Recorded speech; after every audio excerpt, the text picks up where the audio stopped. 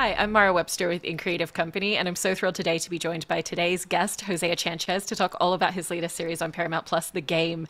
And I wanted to start by talking about the really unique experience of revisiting a character in this way a few years after you left off playing him, and also because so much so much has changed within athleticism and the sports world and the way that we view athletes, the way that they utilize their platforms and voices.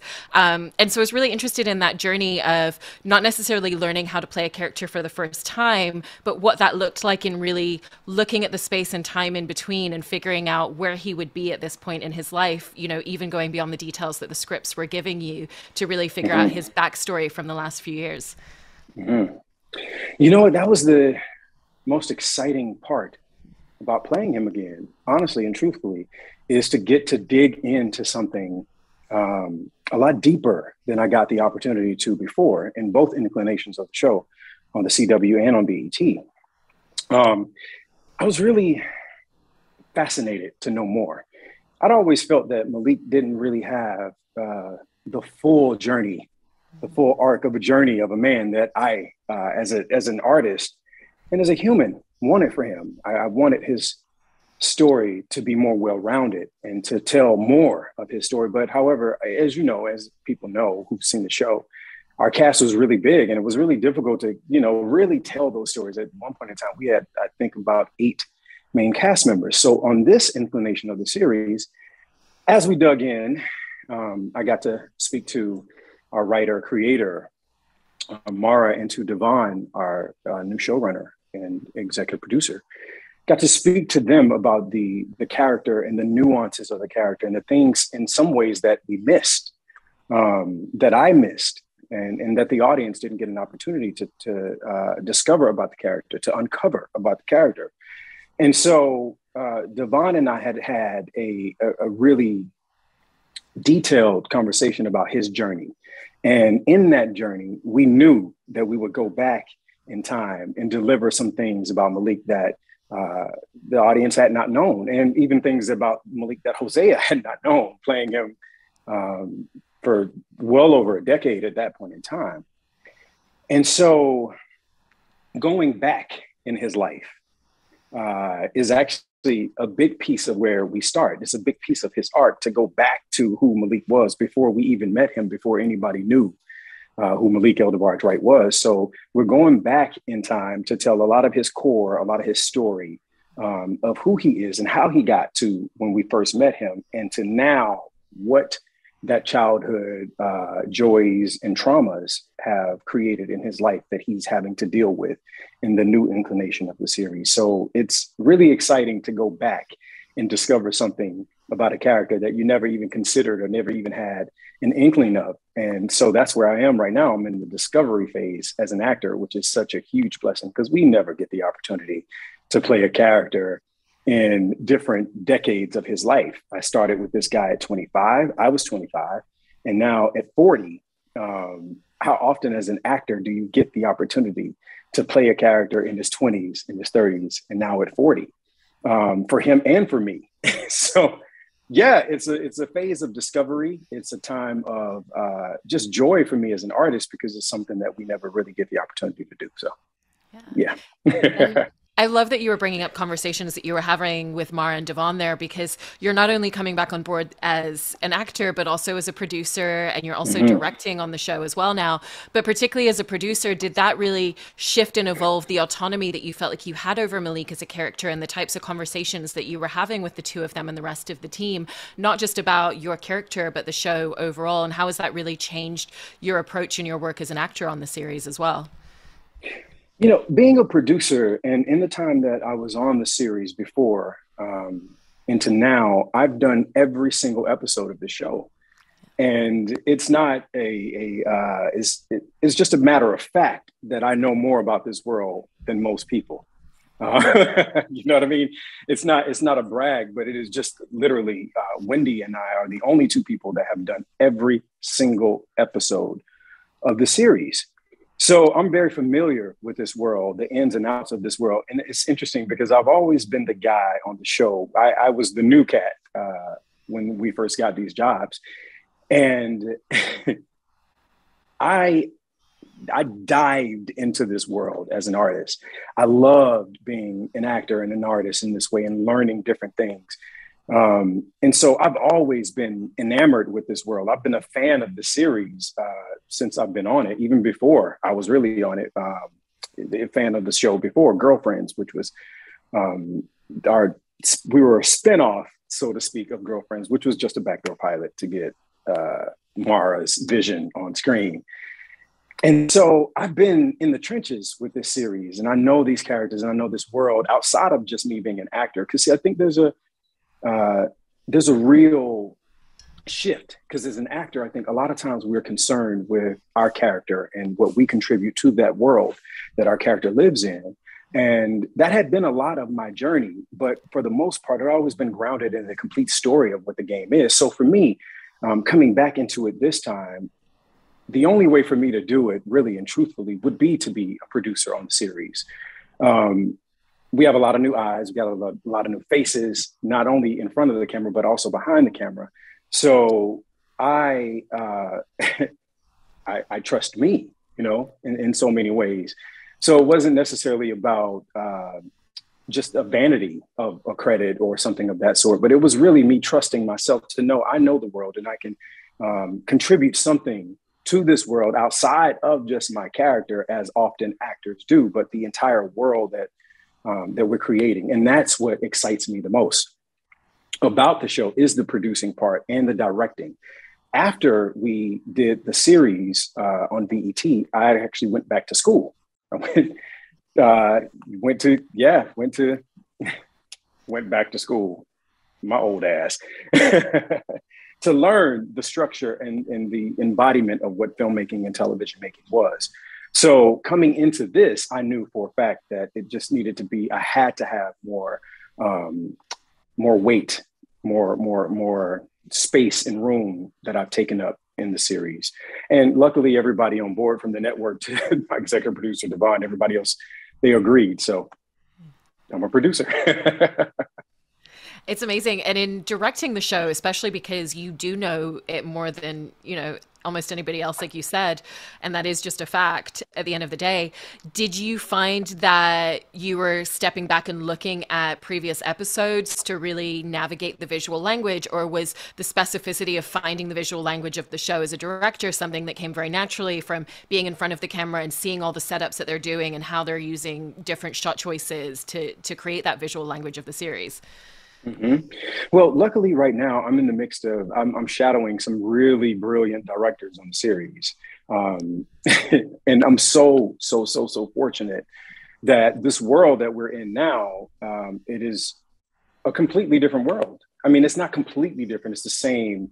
Um, it's the same familiarity that you get from the series um, in the world, but the circumstances are different, as uh, everyone knows now. But and the tone and the texture of the show is completely different than anything it's ever been and that really excited me even more um, because it's darker it's grittier it's re it's it's more uh, i can't say more real eh, I guess I can't say more real. It feels more real, and it feels more real because of the time that we're living in. Um, for us as artists, for you, for you know us actors, and everybody else, is we're in you know these COVID times. So everything now feels a lot more grounded and a lot more real for all of us. So that's showing up on screen and that's showing up in this world that we're created, um, that we're creating.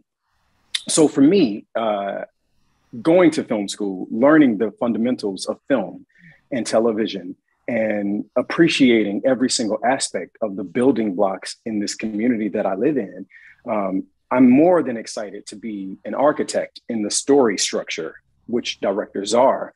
Um, but it's exciting because I have to learn everything just like everybody else because it's a brand new inclination of the show.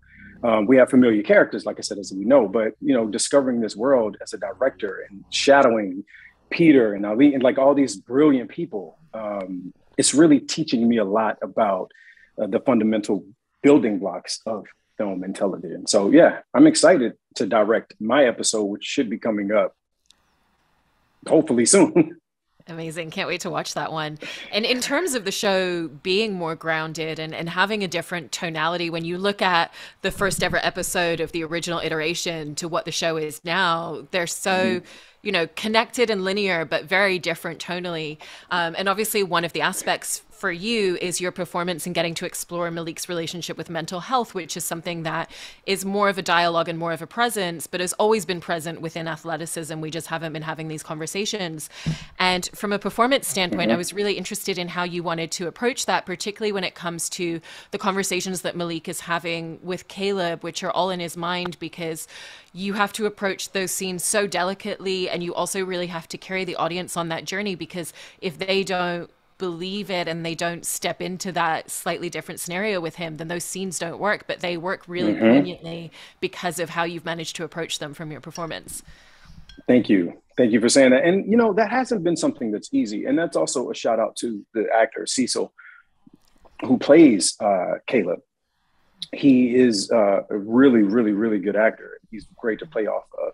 But that's one of the things that, that, that, um, character and the nuances of that character were my biggest concerns. They were my biggest concerns from the very beginning is making sure that we get this right and making sure that this is played um, earnestly, lovingly, informatively, and open and not judgmental or not pushing past it or not um, not just learning the material, but that that type of uh, character issue requires a lot of work and a lot of research. And um, even fighting against things and scenes that are funny, um, just to make sure the work is really grounded. Those are the, the way I approached the scene and the work because I needed to do it with kid gloves. I needed to do it um, and be fully aware of the world that I'm portraying on screen because this is something that's not only is not not only is this something that we need to discuss, but it's something that these guys are dealing with and everybody is dealing with. That's the thing that I've learned about mental illness. I was not aware that most athletes, if not all athletes, are dealing with um, this type of trauma.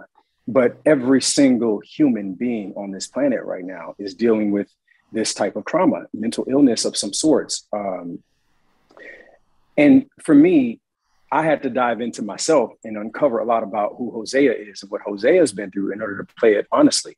And I've learned through playing Malik and, and in this time where he's dealing with, uh, I hate to say mental illness, but mental illness, um, I've learned the synergy between him and myself too, in that way. Um, I too, much like most people, as we, as I've said, have suffered you know, from mental illness in some way, form, or fashion, still am um, through the traumas of COVID and everything that we're experiencing and death and this and the other. So I had to start with a real place of honesty within Hosea to understand what he was going through. And then after I uncovered uh, the traumas and, and the mental uh, mental blockages and things that have hurt me in, in, in my journey, um, then I was able to play it more honestly because it really is, uh, like I said, something that is important for me to tell and to do it the right way um, for everybody else that might be watching and dealing with the same things. Yeah, so yeah, it was a. Go ahead. I'm sorry. No, sorry. No, I was just saying it was really. It's a really uh, specific and poignant and important thing for me to try to do it the best that I could um, as an actor. So you were mentioning there some of the research that you did as well, um, specific to athleticism, and obviously it's not mm-hmm. just about the fact that Malik is dealing with mental health. There's the physical toll that his body has taken over the years. There's concussions, there's injuries that he's mm-hmm. faced, mm-hmm. and just everything that it requires from you to be an athlete as well that affects you psychologically. And so, from the research that you were doing, were there specificities that you found within the athletic world that you really felt were important to carry over into your performance and how you approach these storylines? Absolutely. The physicality of, and, and it's yet another synergy between Malik and myself. It, being a 40 year old man, um, there are a lot of things that I didn't really understand about becoming a man as a young man. And, and this is a synergy with a lot of athletes too, is that we don't really have a place and an outlet to discuss what men encounter, how our bodies break down, how our minds break down, how the physicalities of this job that these guys are doing, and hell, really a lot of us are doing, how it takes its toll on your body, and particularly with men of color, with black men. Um, we don't have these around the table conversations like some of my other peer groups do and my other friends do. We don't have a dialogue about um, the ever changing and aging body. Um, and that was something that was a self discovery for Hosea. That was a synergy between the character, is because I, you know, I get out of bed now and I got to put my feet down. And I'm not acting like I'm 60, 70 years old by any stretch of the imagination, but on my journey, um, I have noticed that little tweaks and stuff in your body, you know, in your joints and things. And speaking to some of my athlete friends, um, that's one of the things that they have to reconcile with is the deterioration of us not being able to do the things that we used to do. And even having to contend with, you know, younger players who are faster, who are better, um, which is something that Hosea's had to contend with on the show. It's having newer, younger actors on a series that I've, I've birthed um, and seeing how they come into this world with such a uh, an energy. There, there's a, a, a, a, vibration to youthfulness, as we now know, and having to contend with your own uh, vibration. You know, having to work harder, I used to be able to get in shape three weeks before I went to this job, and now it takes me a couple of months to get in shape. However, I am in the best shape of my life because I started three months before this time. but but um, you know the physicalities of life. I'll jump back into uh, answering the, the direct question, but the physicalities of life as Hosea and as Malik um, thankfully have lended themselves to have a synergy that I can do the the homework and the life work to understand this man um, in a far better capacity than I've ever been able to really understand him.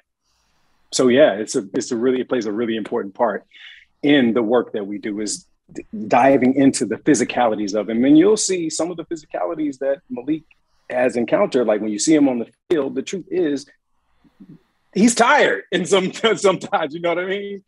So these are things that I have to uh, bring to screen and bring to life and portray in the most authentic manner that I can. And luckily, because I'm a producer on the show, I've been working like 18 to 20 hours every single day that we're at work. so the physical wear down is something that I wear honestly on the show. A little bit of method acting for the exhaustion. yeah, yeah, basically. it's also really interesting getting to look at and explore a character who's at a point where he has so much certainty about who he is, his inner mm-hmm. self, and what he mm-hmm. wants and yet that brings a whole new slew of uncertainties with it of how do i navigate this how do i reach the end goal you know right at the beginning of the first episode he thought that he had everything he wanted mm-hmm. immediately mm-hmm. and then it all crumbled as quickly as it was coming together and so now we're mm-hmm. getting to see how he tries to figure out you know i'm having conversations i'm having different types of conversations with people i've got to show up on the golf course what does that mean right. and the whole political right. game on a different side but we also get to see really beautiful moments about the way that he's so supportive with Jamison and his relationship with other players really representing who he would be as an owner as well of a team. Mm-hmm. Um, and mm-hmm. so what what approach did you want to have with that dichotomy of real confidence and real certainty, but also a lot of the uncertainty and the journey to get there for him? Well, yet again, it's another synergy, um, which is also why uh, I knew that this was something that I needed to do and that I had to do um, it was almost like the, the the Red Sea had parted, and God was like, "Okay, I'm going to give you exactly what you wanted in closure and in story here." Um, but the way I prepared for that journey with him was actually my own journey as a producer and director of the series, and knowing that in this inclination of the show, I would have to take up more ownership because that requires ownership and that's something that I, I that I uh, I'd fought really hard for. Although the network didn't make me fight too hard because they saw the value in it too. Um, but that was something that I fought really hard for. So I knew coming into this that I would have to be 100% present. And there are no excuses. Even though you're tired as an actor, you still have a job to do as a producer and as a director. And if, even though you're tired in those areas, you still have a job to do as an actor. And there is no complaining, fortunately or unfortunately. So you just roll your sleeves up and get it done. So coming into this, I knew that I had a lot. I had a lot to prove um, being a producer of the series, and again, you know, the fans and people who have seen the show over the years and every single inclination of the series. Um, Wendy and I are the people that are familiar with the show. We're the eyes and ears that people have grown to know and to trust on this journey. So I knew that ownership for Malik on the series was very similar to ownership for Hosea. Um, and again, th- we're in a world now where everybody is really new. Uh, we, you know, new writers, new producers, new every everything in this world is new. So I knew that there would be again an ownership, much like Malik, who's fighting for ownership um, on the show. Hosea too is not fighting for ownership, but proving to uh, to my bosses, uh, the network and, and Devon and everybody around that I have what it takes to do this job and to do this job well. Starting out, honestly, I had uh, I'd put acting on the back burner for a while and had just completely focused on directing and writing uh, my feature feature that I'm going to direct, my feature film, and um, just diving into the world of producing things and being behind the camera. I didn't really know if or when exactly I'd be an actor again, and not necessarily wanting to do that type of on camera work at that particular time. So I knew if I went back to the game, I'd be an actor. And if I was being an actor, then I'd need to have something that actually fed my soul and my spirit for where I am today, not versus when I got the job. And so for me, that was again ownership, similar to what Malik is facing and what he's going through and what he desires. Um, eventually, I'll have my own series and probably show run and executive produce uh, my own show. And this is a, a building block to helping me acquire the things that I need in my life to continue on my journey as Hosea, much like Malik continuing on his journey um, to ownership or wherever that leads him. So it was a, it was a real synergy there that I could pull from my own experience, my own doubts about going back into this world because I've done this for a long time. You know what I mean? 15 years of my life. And by the time I'm done with it this time, I will have played the same character for almost 20 years of my life. Now, on the outside of that, it was a little bit intimidating, to be honest with you, because I didn't know. Um, you know, I was like, oh God, am I really going to spend my whole life playing the same guy? But then it quickly changed for me after prayer, meditation about the show, and God literally told me how much of a blessing this was because actors don't get the opportunity to journey through one character's life for different decades of their life. We can do it in film, we collapse time to experience what those characters are like in an hour and 45 minutes as they age. But to truly sit in a character for different decades of his life is just mind blowing. So my perspective shifted, and I realized that I'm actually probably one of the most lucky actors that I know because I get to do this, um, and I get to grow and change as the character grows and change changes in real life. So yeah, I'm a fortunate guy. it's it's really remarkable experience to have like you said and and i also imagine that there must have been such a journey when you look back to when you first came on set for the first few episodes the way that you would work on scenes the way that the cast were kind of getting to know each other and now you're mm-hmm. in this really unique space like you said where you and wendy have done every single episode you know this character like the back of your hand and so there's a different kind of intrinsic nature in stepping back into a character in this way. And yet at the same mm-hmm. time, there are still new cast members and new crew members as well as returning. So it's it's taking the old and also figuring out what are the new elements of how we work on scenes. So what has that evolution and arc been when you come onto set now and you work on an episode and the way that everybody comes together and really figures out the beats and the moments of a scene? You know what? It's actually um familiar and, and, and excitingly familiar for me because it's similar to the way we started. you know what I mean? It's very similar to the way we started with um, we're we're a family as much as you can, you know, call your work family a family. Um, I don't like to throw the word family around uh, lo- loosely by any stretch of the imagination, but we are uh, as close as work people can get. It's always been the little engine that could for us. Uh, we've always come in at some form of a curveball. Like we, we've always come in behind a curve or um, having to beat something or someone or not getting this or not. And for the younger actors who are coming into this, and I don't say young meaning they're young in age, but younger in this world, um, for them to come in and to to be in this place of self discovery, you know, and and figuring out all the the bells and whistles for their characters in the world and all these things. These are the things that really excite me every day, is because it reminds me so much of when we were building the show and trying to figure out our characters um, from the very first pilot, from the pilot episode, and I, I, I honestly have to say that fortunately, we've hired really good actors that have come in and that have taken ownership in this place. Because I tell the actors all the time, I'm like, yeah, Wendy and I have been here, but you have to come in here. You have to take up ownership because this is your show too. And so, them coming in with that type of uh, validation from Wendy and myself um, gave them the freedom and the opportunity to come in and take up space and learn more about their characters and grow in so many areas. And what that's done for me, it's allowed me to grow too. It's given me um, this excitement to see this world new through their eyes in the world that I've been in so long. You know what I mean? So it's really been uh, reminiscent of when we first started out on the CW as the little engine that could, trying to prove that not only are we great, um, but if you make it, the audience will show up and they will come and they'll watch us.